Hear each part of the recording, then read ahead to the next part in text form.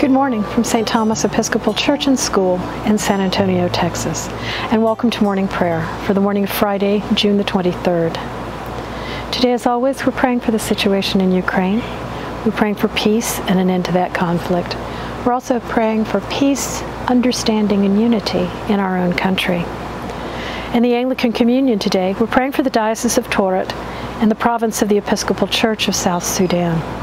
And in our own diocese this week, we're praying for the Church of St. Peter and St. Paul in Mission and St. Albans in Harlingen. We pray for Michael, our presiding bishop, for David and Rayford, our bishops, for David, our bishop coadjutor elect, and for Mike and Allie, our priests. And as always, from wherever you are, please bring your own concerns, intentions, and thanksgivings to prayer this morning.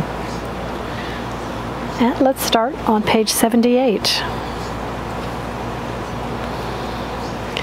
Let the words of my mouth and the meditation of my heart be acceptable in your sight, O Lord, my strength and my Redeemer. And on page 79, let us confess our sins against God and our neighbor. Most merciful God, we confess that we have sinned against you in thought, word, and deed, by what we have done and by what we have left undone. We have not loved you with our whole heart. We have not loved our neighbors as ourselves. We are truly sorry and we humbly repent. For the sake of your Son, Jesus Christ, have mercy on us and forgive us, that we may delight in your will and walk in your ways, to the glory of your name.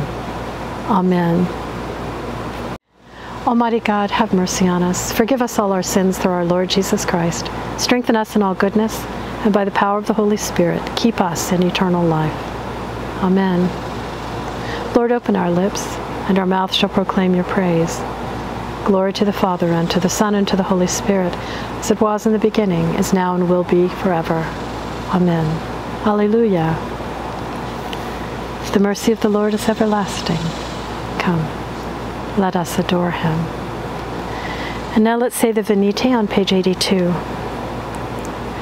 Come, let us sing to the Lord. Let us shout for joy to the rock of our salvation. Let us come before his presence with thanksgiving and raise a loud shout to him with psalms. For the Lord is a great God and a great King above all gods. In his hand are the caverns of the earth, and the heights of the hills are his also. The sea is his, for he made it, and his hands have molded the dry land. Come, let us bow down and bend the knee and kneel before the Lord our Maker. For he is our God, and we are the people of his pasture and the sheep of his hand. Oh, that today you would hearken to his voice. The mercy of the Lord is everlasting. Come, let us adore him. Our psalm today is Psalm 88, and that's on page 712. O Lord, my God, my Savior, by day and night I cry out to you. Let my prayer enter into your presence.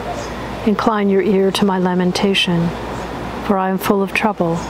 My life is at the brink of the grave. I am counted among those who go down to the pit.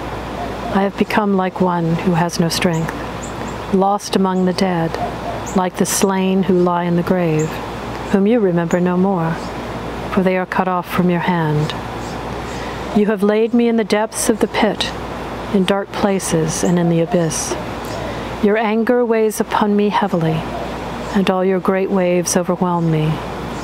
You have put my friends far from me. You have made me to be abhorred by them. I am in prison and cannot get free. My sight has failed me because of trouble. Lord, I have called upon you daily. I have stretched out my hands to you.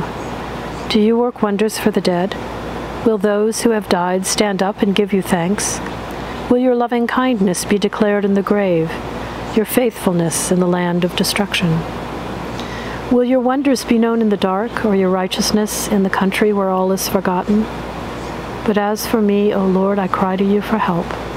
In the morning my prayer comes before you. Lord, why have you rejected me? Why have you hidden your face from me? Ever since my youth, I have been wretched and at the point of death. I have borne your terrors with a troubled mind. Your blazing anger has swept over me.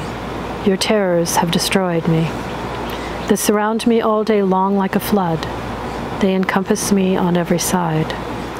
My friend and my neighbor, you have put away from me, and darkness is my only companion. Glory to the Father, and to the Son, and to the Holy Spirit, as it was in the beginning, is now, and will be forever. Amen. This is probably one of the most difficult Psalms, and I've talked about it several times before over the now, well, more than a year that we've been doing morning prayer. Um, so it seems kind of odd, perhaps, to say glory to the Father and to the Son and the Holy Spirit after a psalm that is very dark. Um, and but there's something that we can be grateful for, and that's that the psalm can put into words sometimes a cry of a soul that is hard to put into words, and the psalm kind of can help us find words for, for those dark times. So there is there's something to be there's really actually quite a bit to be found in that psalm. So let's go to our readings. We're in the book of Acts. We're in chapter 2. We're actually going to finish chapter 2. We're going to begin with verse 37 and go through to the end, which is verse 47. Now, when they heard this, they were cut to the heart and said to Peter and to the other apostles, Brothers, what should we do? Peter said to them, Repent and be baptized, every one of you, in the name of Jesus Christ, so that your sins may be forgiven, and you will receive the gift of the Holy Spirit. For the promise is for you, for your children, and for all who are far away, everyone whom the Lord our God calls to him. And he testified with many other arguments, and exhorted them, saying, Save yourselves from this corrupt generation. So those who welcomed his message were baptized, and that day about 3,000 persons were added. They devoted themselves to the apostles' teaching and the fellowship, to the breaking of bread and the prayers. All came upon everyone, because many wonders and signs were being done by the apostles. All who believed were together and had all things in common they would sell their possessions and goods and distribute the proceeds to all as any had need. Day by day, they spent much time together in the temple. They broke bread at home and ate their food with glad and generous hearts, praising God and having the goodwill of all the people. And day by day, the Lord added to their number those who were being saved. The word of the Lord. Thanks be to God. Our first canticle for today oops, falling out, is the second song of Isaiah on page 86.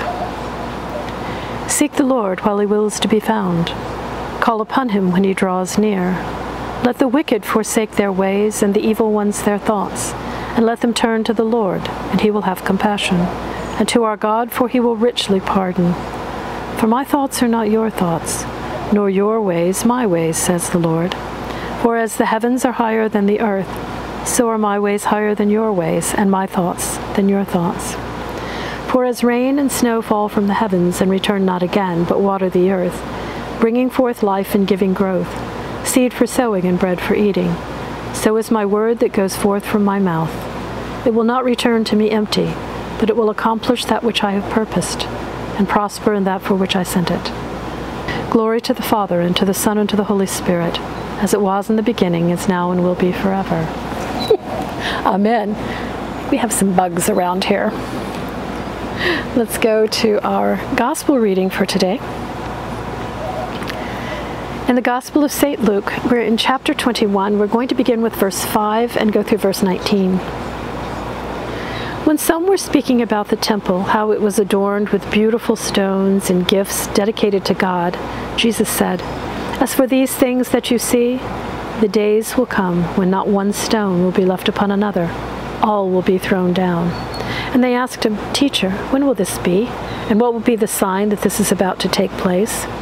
And he said, Beware that you are not led astray. For many will come in my name and say, I am he, and the time is near. Do not go after them.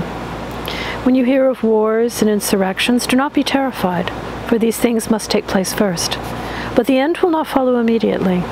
And then he said to them, Nation will rise against nation, and kingdom against kingdom. There will be great earthquakes, and in various places famines and plagues, and there will be dreadful portents and great signs from heavens. But before all this occurs, they will arrest you and persecute you, They will hand you over to synagogues and prisons, and you will be brought before kings and governors because of my name. This will give you an opportunity to testify, so make up your minds not to prepare your defense in advance, for I will give you words and a wisdom that none of your opponents will be able to withstand or contradict. You will be betrayed even by parents and brothers, by relatives and friends, and they will put some of you to death. You will be hated by all because of my name, but not a hair of your head will perish. By your endurance, you will gain your souls. The word of the Lord. Thanks be to God. Our second canticle is a song to the Lamb on page 93. Splendor and honor and kingly power are yours by right, O Lord our God. For you created everything that is, and by your will they were created and have their being. And yours by right, O Lamb that was slain, for with your blood you have redeemed for God from every family, language, people, and nation a kingdom of priests to serve our God. And so to him who sits upon the throne and to Christ the Lamb be worship and praise, dominion and splendor, forever and forevermore. And on page 96, let's say the Apostles' Creed. I believe in God, the Father Almighty, creator of heaven and earth. I believe in Jesus Christ, his only Son, our Lord. He was conceived by the power of the Holy Spirit and born of the Virgin Mary. He suffered under Pontius Pilate, was crucified, died, and was buried. He descended to the dead. On the third day he rose again. He ascended into heaven and is seated at the right hand of the Father. He will come again to judge the living and the dead. I believe in the Holy Spirit, the Holy Catholic Church, the communion of saints, the forgiveness of sins, the resurrection of the body, and the life everlasting. Amen. The Lord be with you. And now let's pray together the prayer that Jesus taught us. Our Father, who art in heaven, hallowed be thy name. Thy kingdom come Thy will be done on earth as it is in heaven. Give us this day our daily bread, and forgive us our trespasses, as we forgive those who trespass against us. And lead us not into temptation, but deliver us from evil. For thine is the kingdom, and the power, and the glory, forever and ever. Amen. And on page 97, let's say Suffrages A. Show us your mercy, O Lord, and grant us your salvation. Clothe your ministers with righteousness, and let your people sing with joy. Give peace, O Lord, in all the world, for only in you can we live in safety. Lord, keep this nation under your care, and guide us in the way of justice and truth. Let your way be known upon earth, your saving health among all nations.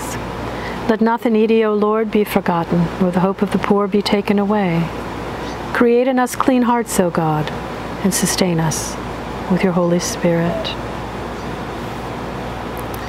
And our collect for today is the collect for Proper 6, and that's on page 230. Keep, O Lord, your household, the church, in your steadfast faith and love, that through your grace we may proclaim your truth with boldness and minister your justice with compassion, for the sake of our Savior Jesus Christ, who lives and reigns with you in the Holy Spirit, one God, now and forever. Amen. And on page 99, the Collect for Fridays. Almighty God, whose most dear Son went not up to joy, but first he suffered pain, and entered not into glory before he was crucified, mercifully grant that we, walking in the way of the cross, may find it none other than the way of life and peace through Jesus Christ, your Son, our Lord. Amen. And on page 100, our prayer for mission. O God, you have made of one blood all the peoples of the earth, and sent your blessed Son to preach peace to those who are far off and to those who are near. Grant that people everywhere may seek after you and find you. Bring the nations into your fold, pour out your Spirit upon all flesh, and hasten the coming of your kingdom. Through Jesus Christ our Lord. Amen. And on the top of page 102, the prayer of St. Chrysostom. Almighty God, you have given us grace at this time with one accord to make our common supplication to you. And you have promised through your well beloved Son that when two or three are gathered together in his name, you will be in the midst of them. Fulfill now, O Lord, our desires and petitions as may be best for us, granting us in this world knowledge of your truth, and in the age to come, life everlasting. Amen. Let us bless the Lord. Thanks be to God. And now let's take a few moments for reflection.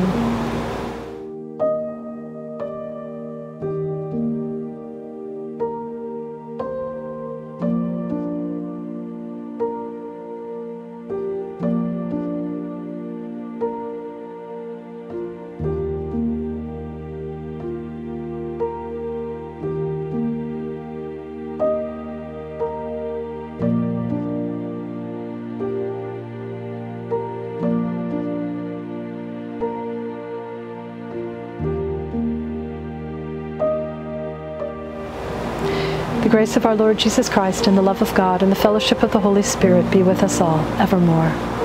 Amen.